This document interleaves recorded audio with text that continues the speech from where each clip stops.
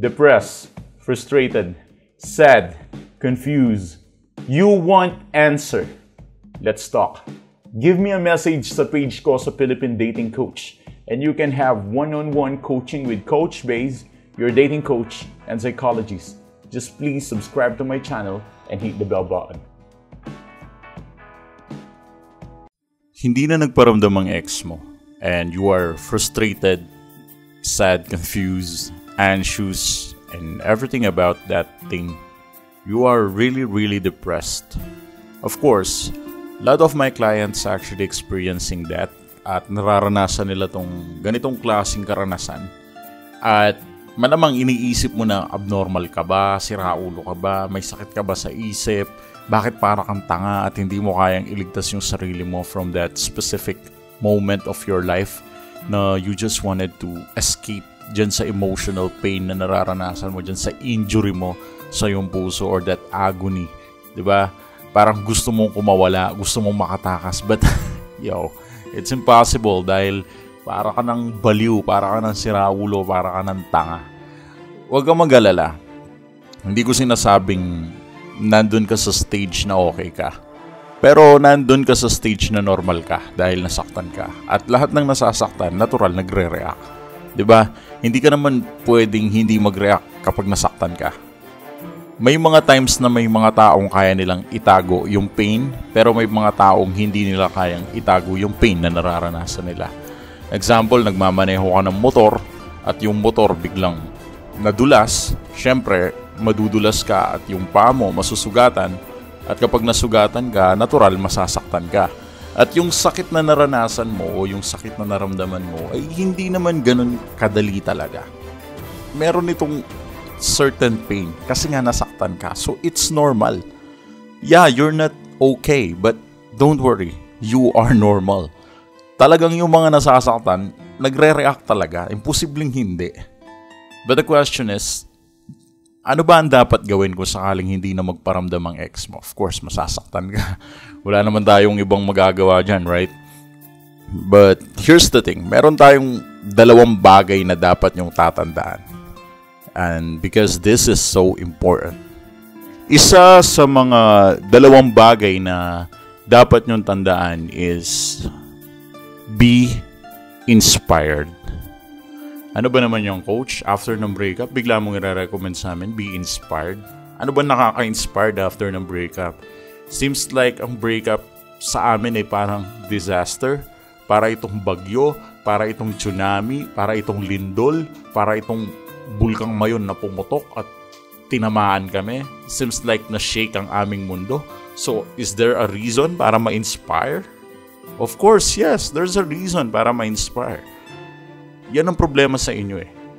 Ang natatanging problema kasi dito is how you approach the problem or how you approach the situation.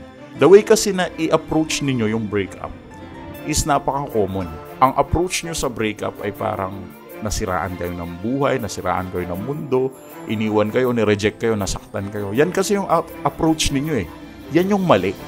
Dapat maging inspirasyon yan sa inyo. Nasa mentality lang yan. Kung ako man ang magkaroon ng breakup ngayong oras na to, imbis na masaktan siguro ako, siguro may inspire ako na, oh yeah, nakaka-inspire naman yung breakup na to. It means na marami pa pala akong dapat patunayan sa sarili ko. ba? Diba? Instead of thinking na parang baka kasi kasalanan niya, puro kasi kasalanan niya eh, kapag breakup eh, siguro may kasalanan siya. Pero baka may kulang din sa'yo, di ba? Dapat kang ma-inspire na okay, ang kailangan mong ma-feel eh, okay, because of this breakup, Nangangako ako sa sarili ko na someday magiging mayaman na businessman ako. Na someday magiging tanyag na lawyer ako. Na someday magiging tanyag na businessman ako. Na someday magagawa ko to. Na someday magagawa ko yon. Someday magiging magaling akong gamer. Or someday magiging magaling akong computer technician. You know, there are a lot of things na pwede nating pagbigyan ng pansin. And you need to be inspired. Maging inspirasyon ng breakup na to para gawin mo yung mga dapat mong gawin. Probably God is reminding you na, Hey, my son, my daughter, what what are you doing? Bakit hindi mo ginagawa yung purpose mo? Why you don't share the word of God to people? Why you don't pray? Bakit hindi ka nananalangin?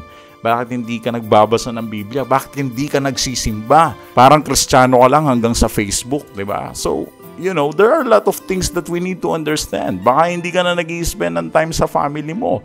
Baka yung mga kaibigan mo, tinatabla-tabla mo dahil may jowa ka lang. Ayaw mo na silang pakisamahan kasi itong jowa mo, magagalit. At dahil doon, iniwan mo na yung mga tunay na kaibigan na hindi naman nang iwan sa'yo nung mga kasagsagan na wala pa tong jowa mo. Sila yung mga nandyan para sa'yo.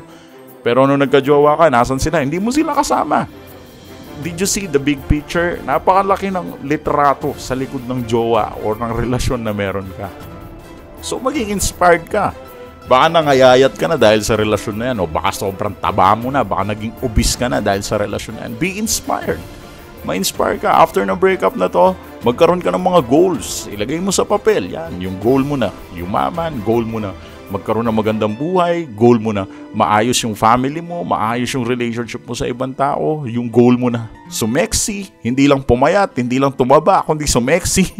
'Di ba? Yung goal mo na tumalino, mag-aral ng English, mag-aral ng Latin, mag-aral ng Griego, or kung gusto maging gym instructor, walang problema. Come on. Nasa pag-approach lang yan. Kung approach mo sa breakup, katapusan na ng mundo. Pero kapag napanood mo ng video na to, gusto ko ang approach mo sa breakup ay ang simula ng iyong mundo. Okay? Kasi kung sa akin mangyayari ang breakup, I think that's the beginning of my life. Oh, another beginning. Bagong simula. I can start all over again. Right? So I want you to be inspired after breakup. And next, ang pangalawang bagay na dapat mong tandaan is wait for the right person. Hindi ka nauubusan, huwag kang mag-alala. Punta ka ng Pure Gold. Kapag pumunta ka ng Pure Gold, naghahanap ka ng hotdog sa Pure Gold, right? Sa, talagang sa Pure Gold ka pa naghahanap ng hotdog. What I mean is, pagdating mo ng Pure Gold, naghahanap ka ng hotdog, hindi lang isang produkto ang meron doon. Kung naghahanap ka ng toyo, hindi lang isang produkto ang meron doon. Kung naghahanap ka ng pansit canton, hindi lang Me ang produkto doon. Kung naghahanap ka ng spaghetti, hindi lang iisang produkto ang meron doon. Tandaan mo, malawak ang mundo. Bilyon-bilyon ang tao sa mundo. Matuwa ka kapag naghiwalay kayo ng karelasyon mo. Dahil kapag naghiwalay kayo ng karelasyon mo, senyales yan na yung tao hindi siya para sa'yo. Ewan ko kung ba't nakukonfuse kayo doon, pero dapat kayong matuwa kapag, oh, na-expose na tong tao na to. Exposed na siya. Ibig sabihin na expose, itong taong to, hindi para sa akin to. So, na-expose na. Pero kayo, nalulungkot. Dapat nga maging masaya kayo eh. Kasi pinakita na ng Diyos na tong taong to hindi para sa inyo. Tama? So, you know, it's all about understanding what is right. And just wait for the right person. Hindi ko sinabing malandi ka, naghahanap ka agad ng iba. No, no, no, no. Huwag niyong ma-misinterpret. Hintayin niyo yung tamang tao para sa inyo. Just wait. Huwag niyong hanapin, huwag niyong hagilapin. Huwag kayong maging porsigido or masyado kayong determinado na makita siya. Uhaw na uhaw kayo for the right person. No. All you need to do is just to relax, do your things, fulfill your purpose, then wait. Pray to God. Serve God. Serve people. Magpakabuti ka. Maging passionate ka. Magbigay ka ng malalim na simpatya sa ibang tao. Maging mabuting tao ka. Mag-success ka sa buhay mo. And then wait for the right person. Because you don't deserve this relationship. Kung hindi magparamdam ang ex mo, that's a very good thing. It is a sign that your ex is not actually for you. Right? Yung ex mo hindi para sa'yo. Well, that's cool. I think that's a very good sign. Hindi to para sa'yo. Dapat hindi mo nahabulin. Dapat magkaroon ka na ng bagong mindset.